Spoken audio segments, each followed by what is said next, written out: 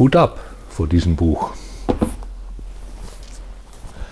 Ich liebe dieses Buch, weil es für mich drei wichtige Eigenschaften von einem guten Bilderbuch vereint.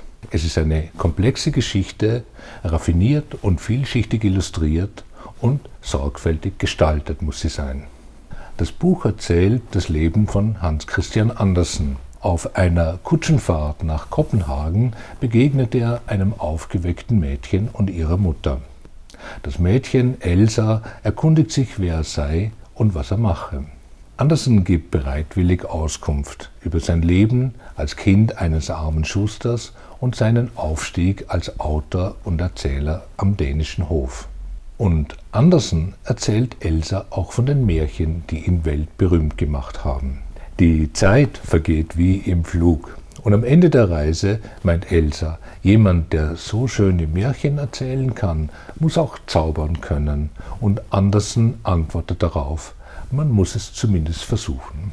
Wir haben uns gefragt, warum gibt es eigentlich kein Bilderbuch über Andersen, der doch so viele Bilderbücher mit seinen Märchen inspiriert hat?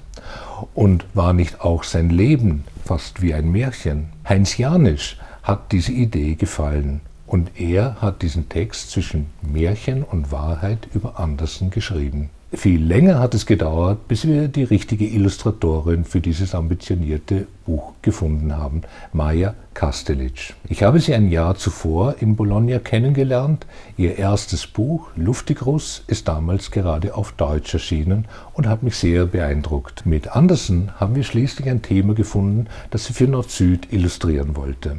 Meyer hat von Anfang an erkannt, was für eine spannende Herausforderung es ist, dieses Buch auf den unterschiedlichen Zeitebenen zu erzählen. So hat sie die Kutschenfahrt von Andersen und Elsa in heitere, sonnige Farben getaucht. Andersens Erinnerungen an sein Leben und seine Kindheit sind in einfachen Sepiatönen gehalten und Meyer benutzt dabei Elemente aus der Comicsprache, um diesen Bildteil zu illustrieren. Eine wahre Augenweide sind die Panoramabilder, mit denen sie die Schlüsselszenen aus Andersens Märchen gezeichnet hat.